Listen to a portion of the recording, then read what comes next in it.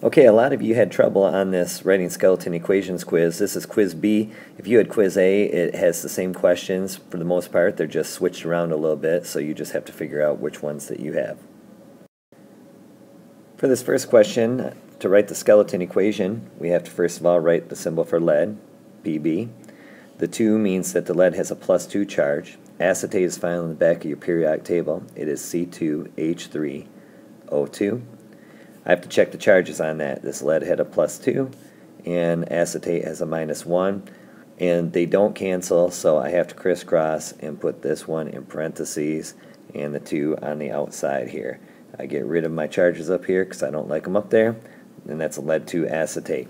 Reacts with is plus. Calcium is just Ca. I know calcium has a plus 2 charge but when it's by itself you don't need it. To form we put an arrow calcium acetate, which is calcium, and then there's the acetate ion again, C2H3O2. I check the charges. Calcium has a plus 2 charge, acetate has a minus 1.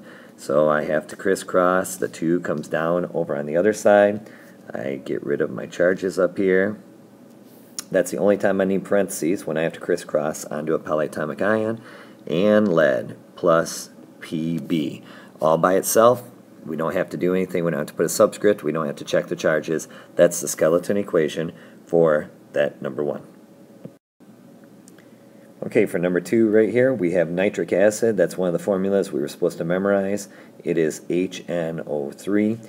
Reacts with magnesium hydroxide. Here's magnesium. Hydroxide's on the back of your periodic table. It's OH. The charge on that is a minus 1. Magnesium's in group 2. It's a plus 2. They don't cancel out, so we have to crisscross, bring that 2 down on the outside, and let's get rid of these charges right here. To form is an arrow, magnesium nitrate, Mg nitrate, again on the back of your periodic table, it ends in 8, so we have to look back there. Nitrate has a minus 1 charge, magnesium still has a plus 2 charge, they don't cancel, so I need to bring the 2 on the outside over here. Get rid of those charges. And then water, which is just H2O. There's the skeleton equation for number two.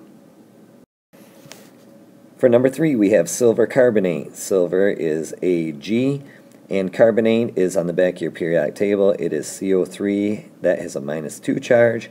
Silver has a plus 1, even though it's in the transition metals. It is kind of a different one here. So we have to crisscross. We bring the 2 from carbonate down over here and get rid of my charges. There's silver carbonate. Reacts with, there's my plus, copper. It's just plain old copper. You don't have to have anything on it. You don't have to check the charges to form copper 2 carbonate. Here's my copper. Carbonate is still CO3. That has a minus 2 charge. Copper, in this case, because of that 2 right there, tells you that it is a plus 2 charge, not two coppers on there. And so I don't need that. Those cancel each other out. And don't need crisscross. No parentheses needed either. And silver, which is Ag. And for number four, we have potassium oxide. Potassium is K, oxide is O, just from the front of the periodic table. have to check the charges. K has a plus 1, O has a minus 2 because of their location on the periodic table. They do not cancel, so we have to crisscross. The 2 comes down here on the K, and we get rid of these charges because we don't want them there anymore. Potassium oxide reacts with, there's the reacts with aluminum chloride. There's aluminum, here's chloride. Check the charges again. Chloride in group 17 has a minus 1. Aluminum in group 13 in the metals has a plus 3 those do not cancel, so we bring the 3 down on the chlorine. Make sure you're crisscrossing and not just dropping straight down. Get rid of these charges. We never take a 1 down, we never take the sign down either. To produce, whoopsie, not, that's not to produce. To produce is an arrow. Aluminum oxide, Al and O. Again, we have to check the charges. Aluminum's a plus 3. Oxide is a minus 2. They don't cancel, so we crisscross. The 2 from the oxide comes down here. The 3 goes over here. We don't take the signs with us. Al2O3. And potassium chloride. Here's potassium.